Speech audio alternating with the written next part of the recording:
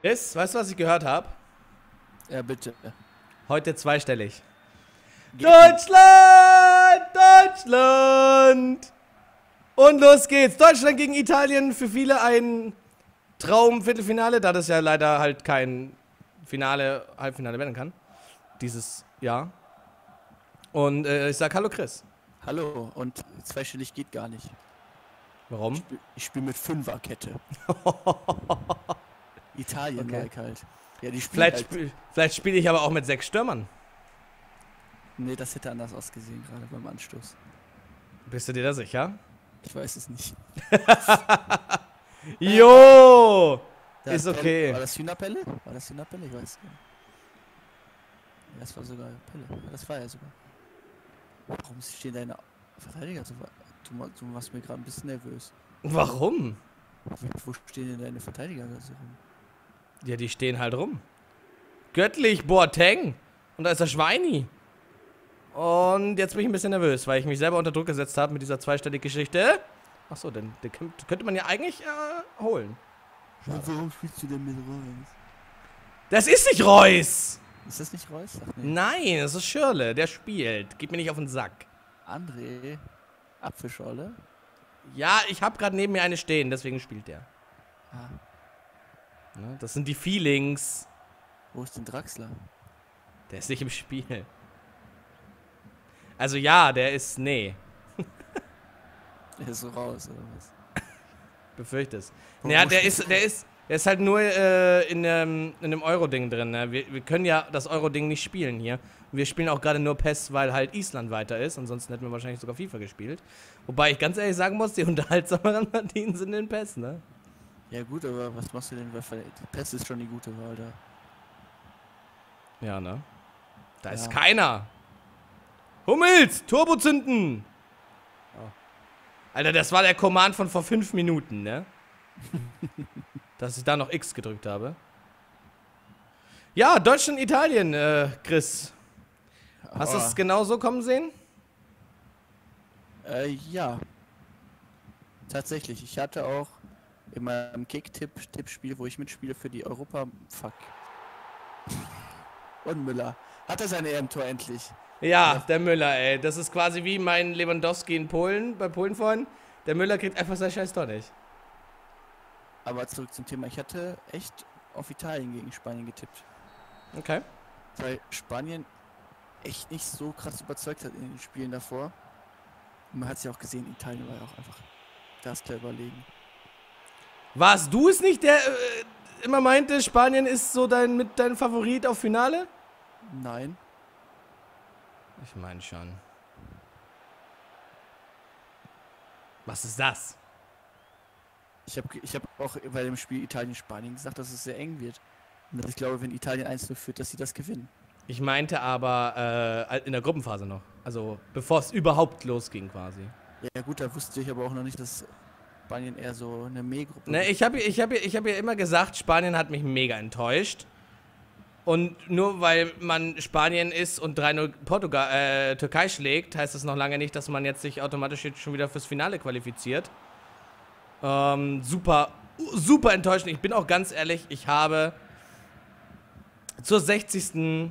oder 65., 70. habe ich abgeschalten, Oha. weil ich Spanien habe nicht mehr spielen sehen können. Das war auch fußballerisch alles mau, ne? Was sie da hingelegt haben. Da war ja gar nichts los. Die hatten, glaube ich, so zwei, drei Chancen. Das ist so erbärmlich. Die hat Buffon dann richtig gut gehalten und dann war es das aber auch schon. Spanien hatte jetzt seine Jahre und jetzt ist halt einfach wieder vorbei. Oh, und jetzt hat der Müller seine Jahre. Alter, was geht denn ab? Der Müller hat seine Jahre. Traumtor? Inc. Was, was ist denn verkehrt mit dem Mann? Junge, ich und Deutschland ist halt eine Einheit. Er macht einfach den Seitfallzieher. Er macht den Shakiri. Er macht den Shakiri aus fünf Metern. Bumm. Und da ist halt dann der GG und muss hinter sich greifen. Ja, und sagt dann einfach nur GG, Müller. Ja, Müller geht zu ihm und sagt GG. Boah, wie frech wäre das denn? Das wäre witzig. Oh, da kommt der steile Ball. Aber mich kann man nicht schlagen, wenn ich die Deutschen spiele. Chris, Ansage. Ich verliere nicht zweistellig. Wo ist die Fünferkette, Kritz? Da. Alter, das war, das war scheiße. Warum? Nee, von mir war das scheiße, also. Ach so. Einfach schlecht gespielt. Nicht falsch verstehen. Oh fuck. Hier, ich spiele mit Poldi. Das war eigentlich meine große Überraschung. Den habe ich noch gar nicht gesehen. Ja, und. Oh. Oh! Was ist frech, wie er den dann nochmal. Oh mein Gott, Götze, du Flasche. Warum spielt der denn überhaupt? Ist doch jetzt raus. Ja, zu Recht. Aber Nein. Ich weiß nicht, was, da, was das gerade war. Schon wieder Pfosten. Heute ist echt mein Alu-Tag. Ich glaube, ich habe jetzt, was weiß ich, sechs Stunden PES und FIFA gespielt heute. 18 Mal Alu. Mindestens. Es ist so abartig. Aber jetzt haben wir von den Italienern. Was sagst du denn zur deutschen Mannschaft? Die deutsche Mannschaft hat äh, gegen die Slowakei das gezeigt, was ich gerne äh, von den Deutschen sehen würde, ehrlich gesagt. Also, ich war hellauf begeistert. Okay, hellauf begeistert vielleicht ein bisschen zu viel. Man hätte nämlich auch locker 6-0 gewinnen können. Ja, gut, das ist richtig, aber. Die Chance Aber- ist Ja, ja. Das, was ich gesehen habe, war gut. Das, was ich gesehen habe, reicht für Finale. Theoretisch schon, ja. Warum ist denn der da so alle... Alter, Torlinientechnik, bitte. Gibt's Warum? nicht. Wie, er- wie er da so ganz alleine steht, das habe ich gerade nicht verstanden. Ich auch nicht. Was macht meine Fünferkette? Fünferkette, Alter. Ach, das war okay. Okay. Ja, dann. Ach, aber auch nur Vorteil. Hat er quasi... Ja, Aber das nicht? Das macht überhaupt gar keinen Sinn.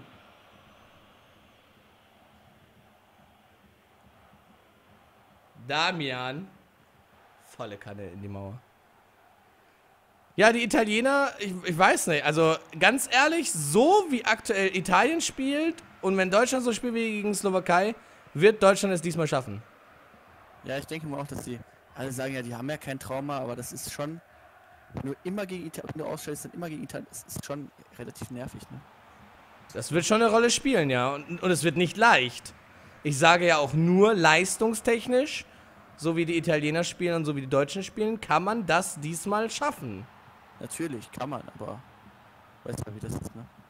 Ja. Wenn wir wieder rausfliegen jetzt gegen die Italiener, dann kann man auch einfach aufhören, Fußball zu gucken. Na gut, kann man einfach den Messi machen und einfach Nationalmannschaftskarriere an den Nagel hängen. quitten, ja. Ja, Ra Rage quit, Rage quit Messi. Aber gut, das steht auf einer anderen Seite. Aber So. die Ja. Deutschen werden, denke ich trotzdem, ich denke, sie werden es dieses Jahr packen. Obwohl ich ja vorher nicht gesagt habe, dass Deutschland nicht Europameister wird, aber glaub, wenn, die gegen, wenn es gegen Italien packen, dann werden die auch Europameister. Der Meinung bin ich nämlich auch, ja. Weil ich schätze, keine Ahnung, Island dann doch nicht so stark ein, dass sie Deutschland schlagen können. Kaum. Da, äh, Frankreich hatte ja schon gegen, gegen die, gegen wen haben die eigentlich gespielt im Achtelfinale? Wir warten das. Äh, Irland. Irland, genau. Genau. Die Iren ja richtige Probleme. Und ich denke nicht, dass Griezmann einfach zweimal so einen Sahnetag erwischt, innerhalb von fünf Minuten zwei Tore zu schießen. Ja, das ist richtig. Aber, aber Oh! ja, nee, ist klar. Götze mit, mit, mit Scorpion Scorpion Kick. Ist okay. Götze mit dem Scorpion Kick, ich hab Bock. Also Deutschland OP.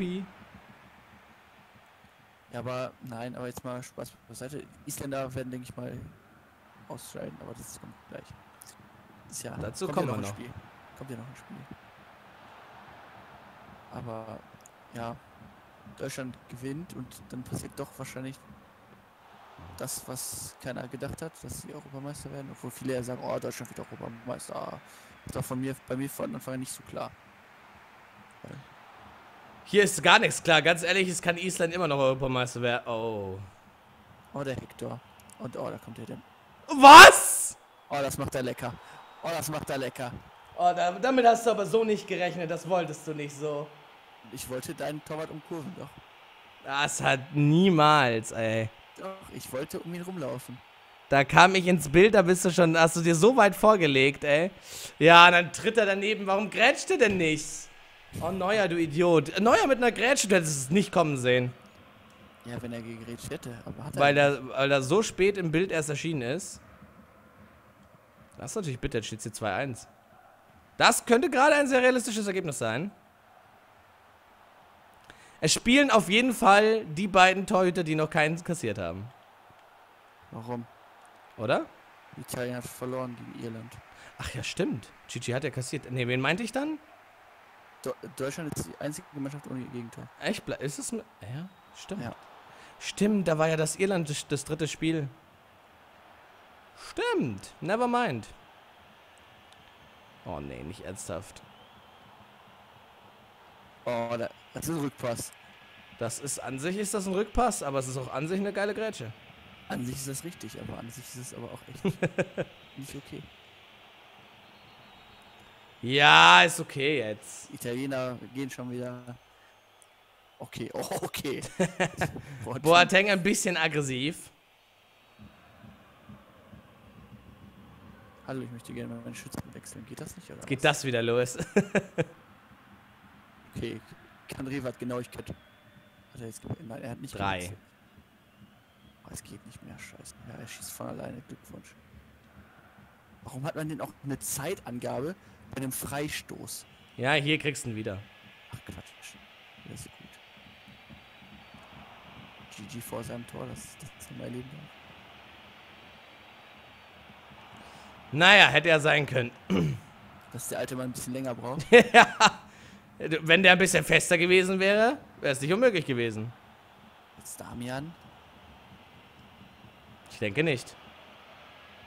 Was regt er sich denn au- Oh, erstmal einen eigenen Mann abgeschossen. Was er sich aufregt. Sehr stark von Riva. Und das war wieder Hummels. Das war wieder Hummels und das ist äh, schlecht. Obwohl. So. Ja, aber ich glaube, das wird, ein, das wird äh, richtig krass. Das wird auch, Das ein, Spiel. das wird auch ziemlich spannend, glaube ich. Es wird richtig böse. Ich werde das auch einfach auf dem Festival mit 40.000 Menschen gucken. Vor der Leinwand. Das ja, ja, klar. Äh, es war 2010 auch Deutsch, Deutschland gegen Argentinien. Oh mein Gott! Ah, das macht der Weltklasse. Das macht der Weltklasse. Eda, der Meister. Der Meister mal wieder. Äh, 2010, als äh, wir die Argentinier abgeschossen haben, Ja. ähm, waren wir mitten im Circle Pit von Niera. Das war so unfassbar fett, weil einfach die Leinwand halt auf der einen Seite war und die Bühne auf der anderen. Das war so cool. Das war ein sehr unvergessener Moment. Und dann haben wir die einfach während des Pits zerschossen, die Argentinier. Mal sehen, ob wir diesmal die Italiener zerstören. Wäre ein Moment für die Ewigkeit. Und sowas macht man mit 40.000 Menschen schon ganz gerne. Das glaube ich. Das ist bestimmt sehr cool. Ja, ich werde mir, ich werde dieses Jahr wieder auf kein Public Viewing Dingsbums gehen, Gut, Weil- also, ne? weil ich habe da schlechte Erfahrungen. Immer wenn ich da war, wenn Deutschland gespielt hat, sind sie rausgeflogen. 2014 war ich auf keinem Public Viewing, wurden sie Weltmeister. Das heißt, ich gucke zu Hause. Das ist eigentlich interessant. Jedes Mal, wenn ich bei Public Viewing war, also wenn ich es halt irgendwie mit einer etwas größeren Masse an äh, Menschen geguckt habe, dann sind wir weitergekommen. Unter anderem, und jetzt kommt der Witz, 2006 gegen Argentinien. Ja, sehr geil. Ich habe irgendwie so ein Händchen mit den Argentiniern und Public Viewing. Ey. Und, und dann sind wir ja auch noch gegen die äh, Weltmeister geworden. Ich, das, das fällt mir jetzt erstmal auf, was für eine geniale Geschichte das eigentlich ist.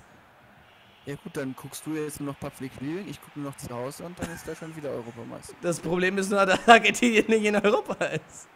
Ja, aber das ist ja das, das ist ja übergreifend. Aber wie geil, jedes Mal gegen Argentinien war irgendein besonderes Ereignis. Witzig.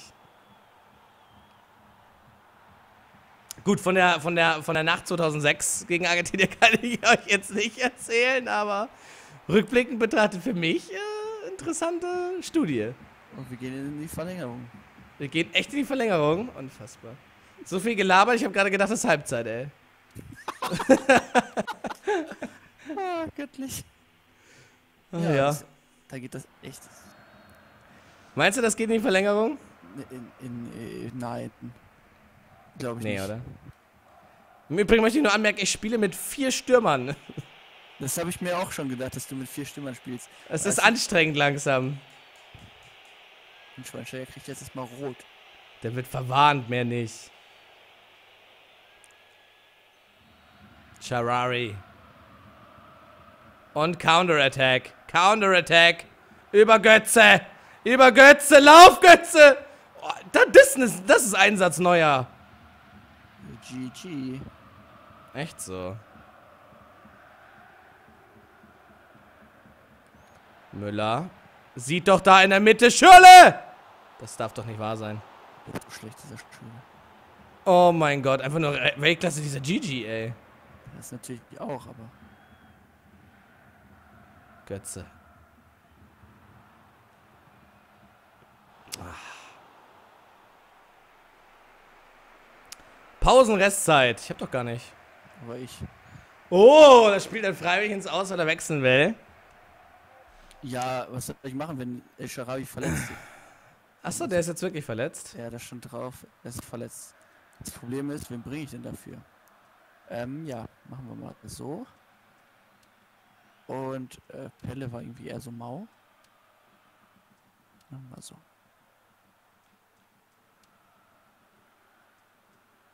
Du gehst jetzt mal von deinen fünf Stürmern weg, oder wie sieht das aus? Ich bring noch mehr. Von mir ist doch das. nee, natürlich nicht, Alter. Nee, nicht, das ist doch unterhaltsam. Ja, jetzt muss ich aber meine Ehre schon verteidigen, ne? Ach ja, ab, du wolltest ja noch, jetzt wo ich sehe, was ist denn mit dem Mesut? Ja, Mesut ist ein Lappen. Danke. Endlich sagt's mal jemand. Ich verstehe das auch gar nicht. Ich verstehe den Typen nicht. Wie kann man für Arsenal so eine gute Saison spielen und dann einfach im kommt streitet das deutsche Trikot über, da wird er einfach zum größten Lappen dieser Welt. So, ich verstehe es einfach nicht. Ich verstehe auch gar nicht, wie Löw ihn noch spielen lassen kann. Tut mir leid, aber Never change a winning team. sorry, aber nee. Hat er ja. Da, da, die, die Ironie ist, dass das funktioniert, denn nach dem 0-0 hat Löw was geändert. Ja. Merkst du was? Ja, das Problem ist aber, dass Özil aber auch da wieder drin steht und er, er trägt nichts zum Spiel bei, verschießt Elfmeter und jeder Pass, den er gespielt hat in die Tiefe, der ist jeder Ball Den ersten seit Uli Hoeneß, mein Junge. Oh, ist das Weltklasse! Hauptsache alle mit ihren Drecks Fallrückziehern und Seitfallsziehern. Was ist los, Mann? Götze, mach den doch mal sicher. Ja, aber ich bring den Mesut jetzt, weil der ist halt frisch und was anderes habe ich auf der Bank nicht, weil Reus darf ich ja nicht bringen. Ernsthaft? Ja, Okay. heul, heult doch wieder jeder rum, ey. Ja, aber weißt du, mi- mich stört halt, ich kann das ja. Ich bin halt kein Fan von dem Typen, so. Erstmal das. Ich weiß, das sehen andere anders. Sie sagen, ja, das ist ein super Fußballer. Das kann ja auch gut sein, aber wenn er jedes Mal, gefühlt, wenn er einen Ball in die Spitze spielt, wenn der Ball jedes Mal, ich kann ja nur von dem reden, was ich jetzt gerade Nee! Hauptsache wieder Pfosten. Alleine jetzt in den drei Spielen. Fünfmal Pfosten oder so. Ja, das kommt sogar hin. Ja, ne? Ja. So, ich meine, der macht das Spiel jedes Mal langsam, weil er immer das, seine Dribblings auf einmal anstatt Richtung Tor einfach immer so quer macht. Äh, das nennt sich, glaube ich, horizontal, ne? Ja, horizontal. Nicht vertikal, genau. Ich glaube, das ist so richtig. Oder andersrum. Wie auch immer. Er spielt ja auf jeden Fall, und wenn er sie in die Schnittstellen spielt, dann kommen die nie an. Ich weiß nicht, bei Arsenal klappt das alles wunderbar. Wenn Ja. er irgendwie Sanchez oder Walcott oder was weiß ich wen Ich bedient. kann, ich kann Özil halt auch in der Nationalmannschaft einfach nicht spielen sehen. Also macht mir einfach keine Freude. Das Problem ist aber auch, er, er kann sich ja gefühlt alles erlauben und Löw ist, ist einfach scheißegal. gefühlt. So weiß ich nicht, keine Ahnung, ich verstehe es nicht. Tja. Jetzt muss ich hier nochmal ein Tor schießen. Alter, bitte keinen Elber schießen. Warum nicht? Wird doch schon eh. ne? Boah, was? Wovon, genau. Was ein. Was ein Biest. Groß! Boah, was? Der ist doch durchs Netz, Alter. Die Kickers. Das war der Teufelsdreier. Der hat den übelst geil übers Tor gelenkt. Zieh dir das mal rein. Oh, ist doch krank, ey. Geb dir das. Alter, mit der Fingerspitze gefühlt. Nur so, nur so mit, dem, mit dem Zeigefinger. Wupp. Handkantenschlag. Ja, schöner Mittelhandbruch. Ja, aber echt. Den Italienern läuft die Zeit davon. Und die Deutschen haben. Abseits. Scheiße. Nochmal Bock, hätte ich fast gesagt. Oh, Hauptsache Müller Dreierpack und Deutschland im Halbfinale. Weltklasse. Oh oh. Also ja, ein 3-2 wird's nicht, dafür sind beide Teams defensiv zu stark. Oh mein Gott, oh mein Gott, das ist. Oh mein. Dieser Buffon ist ein Biest! Das ist unglaublich! Wie kann ich drei Tore gegen die geschossen haben? Ja, das ist eine sehr gute Frage. Frag mal meine Fünferkette.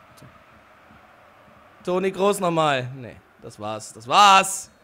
Er pfeift direkt ab. Oh, das ist ja frech. Äh, naja, es war schon eine Minute Nachspielzeit. Aber er hatte keine angezeigt. Er hatte keine angezeigt. Alter, 23 zu 9 Schüsse. Sagt alles, oder? Sagt alles über Buffon, ey. Hier, 12 Paraden, neuer 3. Aber Buffon nur eine 6,5 ist okay. Ja, hat ja auch drei Tore kassiert, ne? Ist immer noch der beste Mann. Also von dir, theoretisch. Ja. Unfassbar. Deutschland kommt weiter, ich sage mit einem ganz trockenen 1-0.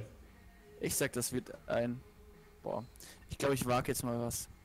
Das wird so ein richtiges, schönes, glattes 3-0. Was? Ich habe da ein richtig gutes Gefühl. Alter, der Kritz ist ein bisschen On, betrunken. nee, ein bisschen on fire. Chris ist on fire. 3-0 für Deutschland. Wow. Darf gerne so kommen. Feiert ordentlich mit. Wup, wup. Und wir sehen uns zum letzten Viertelfinalspiel wieder, auf das ich mich sehr freue. Tschüss. ich mich auch. Tschüss.